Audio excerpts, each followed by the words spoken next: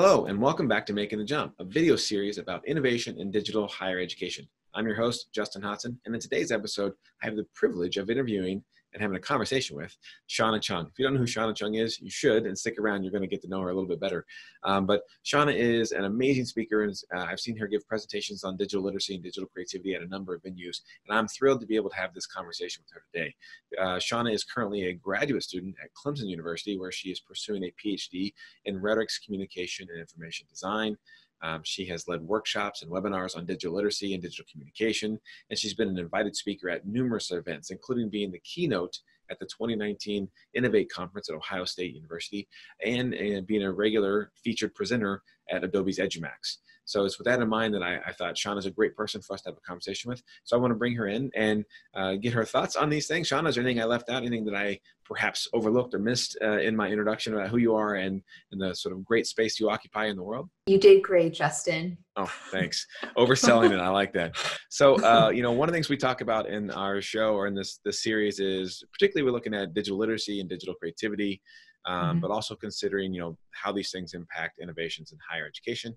And I know an area that you worked in, which is why we have you on today. And so I thought we'd start with an easy sort of um, approach, uh, thinking about what is maybe your view uh, on digital literacy and digital creativity, or uh, maybe framed another way, what is the importance for you, or importance you think, anyways, of digital literacy and digital creativity in the classroom uh, for mm-hmm. students today? Yeah. So I think before I answer that question, I should probably situate my response just a little bit. So I'm coming from a humanities perspective, specifically like a writing classroom. Uh, I'm also a lowly PhD student, so I'm still very much figuring all of this out. Uh, and so I, I teach uh, first year composition. I, I've just taught technical writing this semester. So still trying to figure out um, how to incorporate digital tools into those those classes and things like that. Um, but yes, my response will definitely come from like this humanities perspective. Right, right. So I've I've heard digital literacy really used as a buzzword. It's like this thing that people are like, oh, you know, we live in this very media saturated environment. Digital technologies are the future. We need to get this in the hands of students. And so you'll just hear like digital literacy, digital literacy, and nobody really knows what that means. I think because we're all very much figuring that out and, and trying to invent with it. And so I've I've heard a lot of people say that it's this cutting edge thing and so then it, it brings three different responses that I've, I've noticed. So you have the enthusiasts who are definitely there. They're on the cutting edge. They're early adopters. They're so eager to incorporate this stuff into the classroom and they know they're practitioners themselves. And i think that for them it's just this very natural transition in terms of knowing how to incorporate that into the classroom. And then I think you also have these digital literacy admirers who know that it's important, but don't necessarily have a lot of experience personally. And so then all of a sudden they'll be just saying, you know, our students are going to make video essays. We don't know how to do that, but they're going to do it, you know. And then I also think that you have the skeptics who are just saying, you know, we can't just abandon tradition. And there are a lot of things in this old form or the, the more traditional way of thinking that is worth keeping. And after reflecting on those kinds of responses, I see value in all three. And I think that it's possible with digital technologies to to use a Victor Vitanza uh, metaphor instead of being against to be against, like to to work alongside. And right, right. I, I really think that that is possible in using digital tools. Okay, so I see this a lot, uh, you know, in terms of faculty who have been teaching for a while and they have a lot of tried and true practices for their mm-hmm. field, mm-hmm. for their degree, for their purposes, for their students. And so the, you know, it's not that they're always necessarily hesitant to change and adopt digital literacy because they see mm-hmm. the value. It's just that I already do this thing that works, right? right and and right. and so um, one of the things I've been pointing out uh, more and more lately is that that may be true that it that it does in fact work but uh, you know we have more and more students coming from a mediated sort of uh, worldly experience right? They spend uh-huh. 14 hours a day on screens and tv and tablets and things. So if they expect mediation and your class is absent of that as a critical learning value you know then then what do we do? Are the students going to balk at these sort of maybe more traditional sort of frameworks or you know is it uh, we're trying to give them skills in a given field so i'm always a little uncertain how to how to res- how to position it beyond like well students are changing you know right. but students have always been changing so that's that's not necessarily the best answer um, but i think i think you're right in terms of you know how do we break down what does the buzzword digital digital literacy mean and how Mhm. does it get taken up uh, in classrooms and it's uh, it's i don't know it means a lot of different things to a lot of different people um, right. From information literacy to computational literacy to working with media to uh, Mm-hmm. oh you know how to communicate online right? So so i'm so what do you do then uh, since you in fact do teach things that are related to digital literacy how do you how do you bring that into the classroom? Or you know maybe what are some of your particular strategies to help students think about this as a framework beyond just how do we talk about it at the higher education level Yeah. So I think for me, what I had to do first was become acquainted with, or to become digital literate in, in some capacity myself. So really starting with production on my end and then figuring out how to maybe incorporate that into the classroom was how I, I started with everything. So something that uh, I think is helpful in terms of bringing these things into the classroom is just thinking about what is creativity and what is its place in my work and then also in in academia in general. And i think what's really useful is um, yes can you tell i'm i'm reading for my dissertation exams? So yeah uh, gregory ulmer he wrote he wrote this book called heuretics and it's all about invention. You're you're very familiar with this Yeah. um with this text. But on page six he says everyday adult existence organized by the demands of practicality, has suppressed all other modes of thought. Later on in the paragraph, he says, an inventive culture requires the broadest possible criterion of what is relevant. And so for me, that meant that I need to I needed to start thinking with these other modes of thought, these things that I think that have been suppressed, especially in an academic context. And so what this did for me is it helped me see that everything is valuable, like the mundane stuff, the everyday stuff all of those things can be used in service to you know to create and to invent. And so yeah it just brought this value to the, the everyday that i didn't think could be brought um, yeah. So what what ended up happening was I, I started to interact with my environment in completely different ways. Like i would be walking down um, you know just on campus and then all of a sudden if i know that i need to make video or something or i'm trying to look for some sort of visual metaphor just looking at cracks in a sidewalk or looking at you know leaves falling down or um, seeing i don't know a, a, collection of ladybugs in a corner that became valuable to me. And I, I, started filming those things and seeing what i could do with those types of things. And then when you pair that with some sort of academic idea or something that is outside of of yourself you're able to just marry this other mode of thought with the traditional academic stuff and create something that is totally new and innovative. Right, right, right. And so letting students have the ability to um, experiment in those ways is something that I've I tried to do.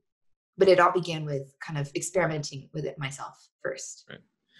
No, I uh, I had a very similar experience in that um, the more I started to discover about how I work with different Mhm. tools and technologies, the more uh, one I became critically aware of things in the world that would contribute to that, and then Yeah. two how I might situate that for students. So I mean, you know, I wasn't formally trained in in these things in any particular order, um, but as I started tinkering with video uh, and image design and things like that, I became again just a, a- acutely aware of how color worked or how shadow worked Mhm. and then or how pacing and, and space works and then then i went back and would do some research on like oh why does this work in film why does this work in design uh, you know so i sort of back backtracked through all my knowledge if you will Mhm. um, uh, but but it's it's very important that you know for me it was at least that the more i became comfortable with experimenting with these things Mhm. uh, the the more I was able to then allow students to experiment with those things because I knew the struggles, and I think that's true for a lot of faculty. But there is a certain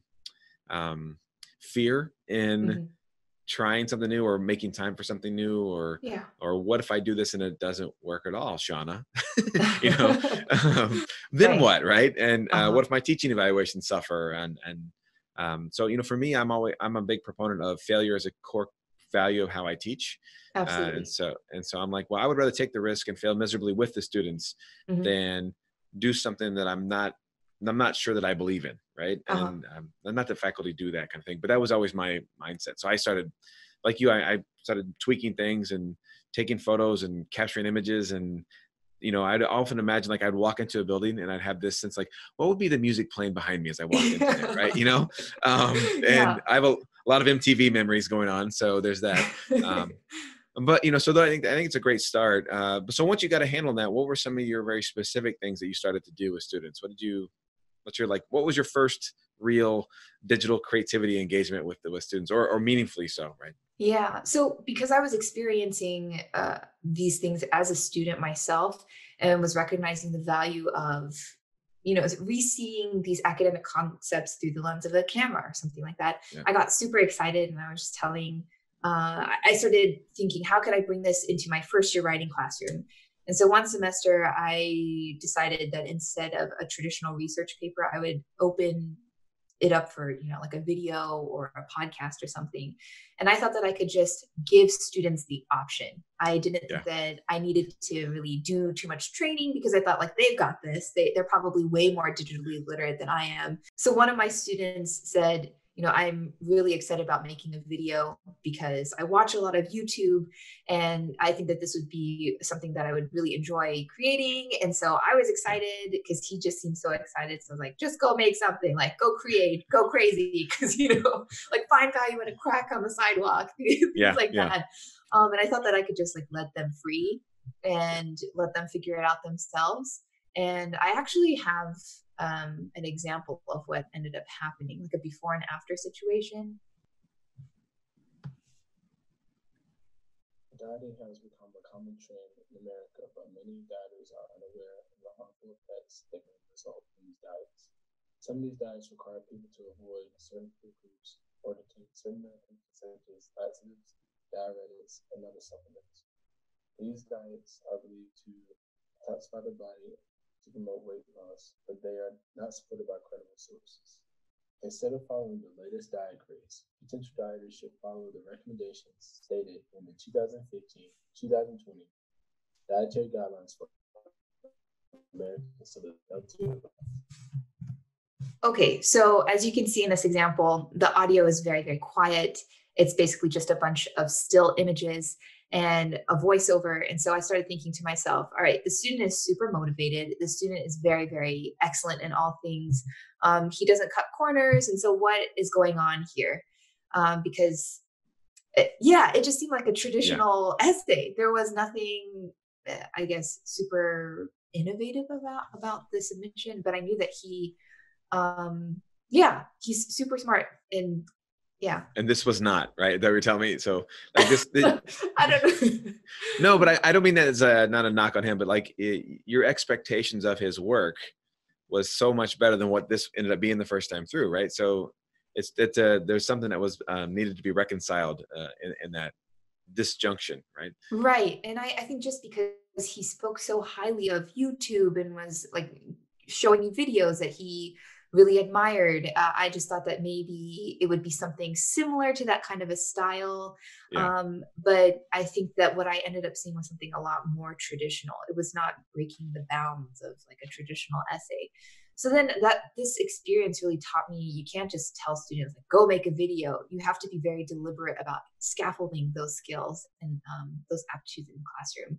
And so what ended up happening was we started watching more um, example videos and breaking those down like how are they using sound here? How are they incorporating visual metaphors? How um, are those things uh, pairing together with your script? How do you speak your script in a more engaging way? How do you up the quality of your audio? Little things like that that you think aren't really important. Um, once you start producing video and you recognize the rhetorical impact of quality sound or um, of a strategically delivered script or voiceover, I think your relationship with digital elements completely changes.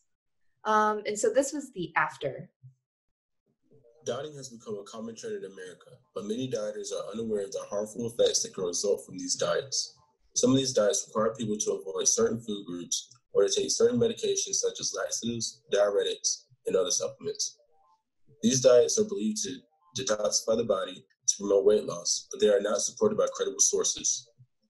Instead of following the latest diet craze, potential dieters should follow the recommendations stated in the 2015 2020 Dietary Guidelines for Americans to live longer, healthier lives by preventing many diseases from occurring. It's a good improvement, right? It's great. Yeah, after he watched a bunch of tutorials on his own to just figure out how to make the quality of his audio a lot higher, um, he incorporated more stock footage that was moving instead of something that was just still. And he was able to articulate why he did all of those things. And at the end, he still had that static image, but he said, This is my thesis statement. I don't want anybody to be distracted by any kind of audio cue or some sort of visual cue. And so I want it to just be straightforward and I want people to just focus on my voice so the fact that he was able to articulate at that at the end um, yeah just really spoke to his understanding of how to use other modes other modes of thought in more strategic ways yeah yeah no you know so the one thing that um I, I, I enjoyed this piece, but he took out the the image with the girl eating the spoonful of pills. I was like, and I really like that image. I was like, man, that's such a great so powerful, right? Uh-huh. Um, so you know, eventually, I assume that's what we're all going to be like. There'll be no food. We'll just take pills and be done. But um, exactly. okay, so uh, that that's I mean that's perfect. Um, so then you know, okay, so you've got you bring in a video. You're giving them initially you turn them loose, but then now you realize you have to have scaffolding and work with intentionality. Um, and of course, that requires you to learn a little more about how the videos work so that you can help them understand more about that but you know uh-huh. at least you're willing to try the first time and realize maybe i need something else right right um, and, and i appreciate that uh, so now that you have had this glorious experience and have taught and, and probably had similar experiences across a number of different kinds of media um, uh-huh. what might be some things that you could offer other people right uh, some key steps or principles and takeaways that uh, folks who might want to look to get into doing more digital literacy uh, or digital creativity, pedagogical kinds of things. Uh, obviously, I think scaffolding is one of them, right? But mm-hmm. um, so, what? How would you how would you tell the novice, the new person, the maybe the experienced educator but new uh-huh. to these tools, like here's some things you might want to consider or you might want to do going into this process? So, one of the first things that I think that um, educators who are just kind of starting to incorporate digital tools into the classroom, what they can do is first be resourceful and to reward resourcefulness. I think that it's really important to recognize that teachers can't teach everything. I mean, sometimes we, I think it's also worth knowing that, or worth thinking about teachers or educators in the same way that we view students because we say you know students come to the classroom with different aptitudes and proficiencies and experiences and things like that. And i think a lot of times we forget that educators are in the exact same place uh, in the exact same position. And so just understanding that even though we're all teaching similar courses that we're approaching them differently how do we achieve those same goals but do do it in a way that is unique to us and that makes sense to us and I think one of those first things, especially for wanting to become more digitally literate in the in the classroom or promoting more of those ideals, um, is to be resourceful and to reward resourcefulness. Just saying, I don't have all the answers, but there's Google and there's YouTube, and there are definitely resources that exist out there, and it's up to you to figure that out. One one semester, I had this one student who well, I know that a lot of times students will just email you like the simplest things, and they'll be like, you know, how do I upload this or what do I need right. to turn in and stuff. And all your instructions and everything have been announced in class. They're on, you know, Canvas or whatever online portal you use. And still they're they're asking these questions. And I have this one student, I think he was emailing me around 11 p.m., but I, I didn't get the message until the following morning. And so he ended up having to be resourceful, uh, not by choice. And right. so he was calling um, Adobe actually because he was trying to figure out how to use Adobe Spark. And so he went through this long process of just trying to figure this thing out and he figured it out. And so the next day he he was sharing this with me before class and I was just blown away by the steps that he took on his own to figure out his problem. And so instead of just being like, "Oh, you know, that's great." I had him share that with the entire class. I told him, "Explain your process, explain what you had to do and how you did this all by yourself." And he did. And from then on, students in my class didn't really have questions about those nitty gritty things because they realized I can I can have agency over this this issue and I can figure out how to do that. Um, and I think that, that that takes the pressure off of instructors to be the experts in all of those things because we're not. We're still figuring this out. So that's the first thing is to be resourceful and to reward resourcefulness. Another thing I think that is valuable is to incorporate workshops or point students in the direction of tutorials, or at least give them a place to start. Because again, even if we're not totally familiar with how these softwares work, um, I think bring people in who know whether through your library or your information technologist or even just um, finding tutorials online or showing students that tutorials do exist giving them those kinds of resources i think is extremely important. And that just requires a little bit work on the instructor's end to figure out what that is. They don't need to again have watched all of them. They don't need to be totally proficient in knowing how to run those workshops but just having those resources available to students i think is, is very important and super helpful. Um, another thing is to build in time for feedback and trial and error so this semester, I was teaching technical writing, and I wanted to start with a bunch of multimodal projects that would lead into like the more traditional white paper report, like that type that type of thing. So I had them just kind of flex their creative muscles in the beginning, and what I tried to do was build in, in actual just weeks for feedback and demoing, and it ended up going pretty well because what we did is the first week we would kind of vision cast. I would show them examples of exemplary projects or things that you know maybe could be worked on and we would identify ways to improve these these projects and things that maybe we uh, admire that we could take in terms of like rhetorical strategies and apply to our own work. Then after we vision casted then we would go through like the nitty gritty stuff. It's like here's how the software works. Like here are some tutorials that you can use. And then i just had them create something like a 30 second demo. And they would share that either in groups or um, for the podcast um, i had i had them make podcasts yeah. and uh, some of my students i asked if there were any volunteers because some students work way ahead of time and yeah. so i had them just everybody sat there and listened um, to these these student work and so it not only inspires their peers but it also gives us all a, a chance to to feel like you know we're in this together and we're giving you feedback and uh, you don't have to have a perfect sample here. Like we're giving you feedback so that you can continue to improve your work. And so right. failure is not failure, really. It's like the beginning of this process, this creative process. Right. That's great. Yeah. No, that's those are perfect. I mean, I do uh oh, create some yourself. This is your last one. I like this. yeah. And then finally, I think it's super worth creating something yourself. Whether you're an instructor or you're a student, I think that just engaging in that creative process is really valuable because if we're asking our students to do the same i think it, we owe it to our students to engage in that process ourselves. And what i've observed is like you don't have to make a documentary film your first time around. You don't even have to make a video necessarily. It's just opening up an application and seeing like how some of the buttons work. That that alone i think is is valuable. And it doesn't have to be the most complicated one. It can just be something uh, on a basic level just to understand the logics of production yeah. You know, so one of the things, uh, sort of work backwards, because I like, uh, these are great, by the way. Uh, one of the things that I do or that I encourage people to do is it's uh, mm-hmm. called enacting the paradigm, right? So, um, if you are, if you're going to have students create a video or you want uh-huh. them to uh-huh. do a video, you should make the assignment handout as a video. Yeah. If you want to, if you want them to do, make a web text, you should, you should make it at, you should create your own web text to explain the assignment. Uh-huh. Um, and, and just that simple thing not only reinforces the work you're doing, but it for, it sort of necessitates that the faculty member, or the teacher, the instructor, whomever, um, has gone through at least some of the process to say, exactly. oh, this is the weird thing to go on when you're trying to edit a video or yeah. i can't i can't why can't i download this clip from youtube you know those mm-hmm. kinds of things and so i think uh, i can't I, I, agree i think creating your, something yourself is um, it's an important part of the process absolutely and the more you can do it the the better i think you position yourself to respond to student issues oh. right um, yeah but I really enjoy the uh, the first one, be resourcefulness, uh, resourceful and reward resourcefulness. I mm-hmm. every semester this happens, right? Where um, I try and find more things to give them examples or mentor text or uh-huh. hey, here's a tutorial. But inevitably, they come up with problems that make no sense and I can't mm-hmm. solve. Mm-hmm. And so then we we collaborate or they do it on their own to figure mm-hmm. out here's my workaround, here's my solution. Yeah, you know. Um, and some students are always hesitant to what I want them to do. I don't know if you mm-hmm. had this too, but like they wanted I wanted them to make um, uh, and a sto- digital storytelling was one of my assignments this, this digital narrative. Uh-huh. and uh, they're supposed to use adobe spark page to create this okay?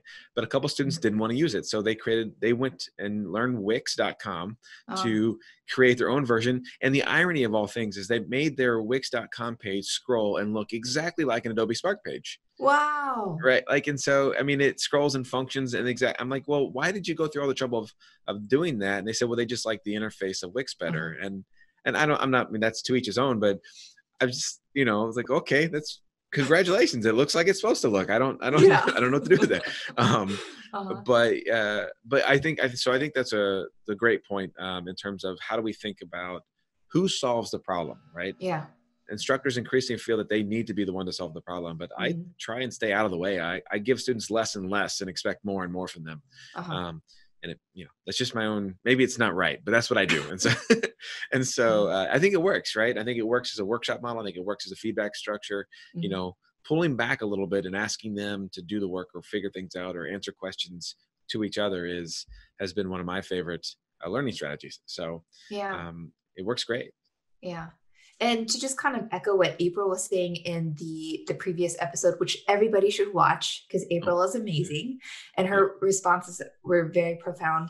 Um, but she was talking about how this this whole process kind of unlocks a creative voice that you don't really know that you have. And I mm-hmm. think that when students start engaging in this, this is not where they're just like, oh, I hate this. Or even as an instructor, like, oh, I hate watching these videos. Like, this is so tedious. Sometimes it is, yes. Like, sometimes there's going to be a learning curve but more often than not it allows you to just bring what is in your brain like these these um yeah this vision you have in your brain to bring it to life and yeah. to be able to do that is so empowering and it's also really fun yeah yeah no we you know one of the things i stress all the time is that um, the more students develop abilities across these different modes in mm-hmm. media mm-hmm. right the more you fundamentally um, expand their capacities for expression yeah. and you know our ability to to think and our ability to express that thinking are fundamentally related so you know the more options i give them to try and communicate what they are seeing or thinking or doing or feeling um, you know the more potential agency we give them in the world right, right. and um, and I have a student this semester who uh, he's uh, he wrote uh, the first paper is on uh, we did a rhetorical analysis of an existing monument,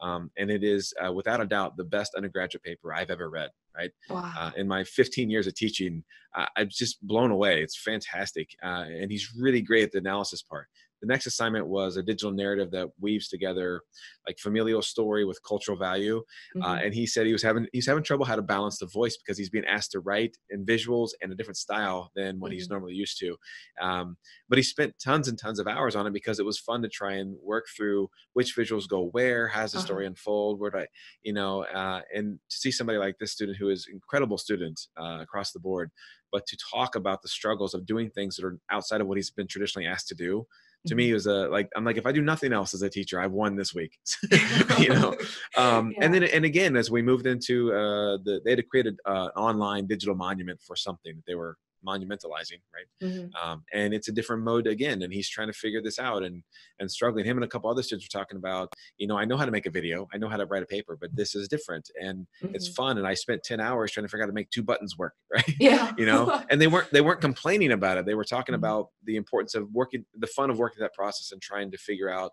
how these things change the way people receive their information or their engagement or how it creates meaning and um, you know when i see that i think maybe i am making a few right choices along the mm. way. Um, yeah. but i think so i think I'm, with you. I think the more we can encourage students to do this kind of work uh, and give them opportunities to do it mm-hmm. i think it's sort of um, it pays for itself. It's it, it quickly becomes self-evident in its value. Mm-hmm. uh, and so i think your your tips here are, are fantastic. So thank you. Yeah. No problem. Now I don't, don't, don't want that to go to your head. Yeah yeah these are these are horrible tips. Let's take them off the screen. Yes yes. Um just no they're, they're really they're really great uh, and um, and so much more uh, well it's a nice concise sort of set of steps. Like i'm always like yeah just go make something figure it out it's great you know and, and you're like no there should be steps along the process. Um, it's the difference between organization and disorganization as they say. Uh, so yeah i think that's it. This, this is fantastic. Are, are, there anything anything else that you want to add anything you want to share with our viewers? Any last tidbits and thoughts that i should communicate to them about you but it's just really cool to see what students are able to create and how their creativity really just like for example i had a whole classroom full of basically just engineers and a lot of them told me april talked about this in her segment as well. They, they say i'm not creative like I, I don't you're right do these types of things. And then next thing you know, they're doing stop motion animations. Like yeah. I didn't tell them to do any of those things. it's just like this idea that they yeah. had in their brain and they thought that this is the most effective way to communicate this information. So yeah, and then you have students who are going to med school or who want to be dentists and they're making stuff that is just so 100% them. I had one student who was just like, you know, I want to talk to a younger audience. I'm going to make a tutorial on how to ride a hoverboard. and the cool thing was, even though it was a, a fun, semi silly thing, the way she did it, like the way that she cut things, the way that she storyboarded that entire process was so amazing, like strategic. Everything was planned. And the fact that she was able to make it look so natural, that she was able to inject the video with her own personality and still um, get all of those steps in a very systematic way is just so well done. So I'd like to share great. those things with all. Yeah, no, send them along uh, or send links to them. I'll, I'll put them on the yeah. screen. We can share with folks. You know, one it's uh, a couple things. One one question people ask me a lot is, uh, do you have any examples that I can share with my mm-hmm. students, right? Yeah. And I'm always like, well, of course, right? So, mm-hmm. uh, I mean, I, I, started the jump, the Journal for Undergraduate Multimedia Projects, mm-hmm. just because of this particular thing, because I kept having students do amazing work, right, like you, and yeah. I was like, oh, other people should see this, but there was no place for them to go other than uh-huh. YouTube, right? And YouTube's yeah. a big competitive space. So right. uh, we started a journal to showcase that. But yeah, anytime that I can share student work and help others see examples of what's possible and what really um, mm-hmm um, amazing projects people do, uh, I'm happy to do that. So we'll, we'll put on the screen, we'll put links to your, to your website um, so they can visit you. If they want to contact you, they can reach out uh, mm-hmm. through that information. Um, uh-huh. But otherwise, also, I think, go ahead. Yeah. No, go ahead. Uh, my students, they they gave their consent to share these videos. They're just like, yes, make us famous. yes, that's good to know. right, right. So, well, yeah. that's why, yeah, that's why I usually share with the the jump because they, you know they have to sort of give up that right to make it. They sort of not give up. They they willingly allow yeah. us to make it public that they've done this work from a class. It's in, mm-hmm. uh, it's part of their course. So they they knowingly do that. So I think it's good that you mentioned that. Otherwise, people might have sent me notes, right? Uh-huh. Um, and this is it's all about them like this is 100% them yeah it's awesome yeah, mm-hmm. Perfect, perfect. All right. Well, I appreciate your time today. Uh, if you know if there's anything else that we forget, feel free to send it to me later, and I'll add it to the mix. Okay. Uh, otherwise, you know, well, hopefully you'll tune in for our future episodes. I don't know what's next, but we'll see what's what's coming down the pipeline. Um, and sure. as always, if if viewers have comments, ideas, thoughts, suggestions, uh, let us know. We'll we'll add them to our mix, and we will see if we can get them into our rotation. So, thank you for your time today, Shauna. Sounds good. Oh, thank you so much for having me.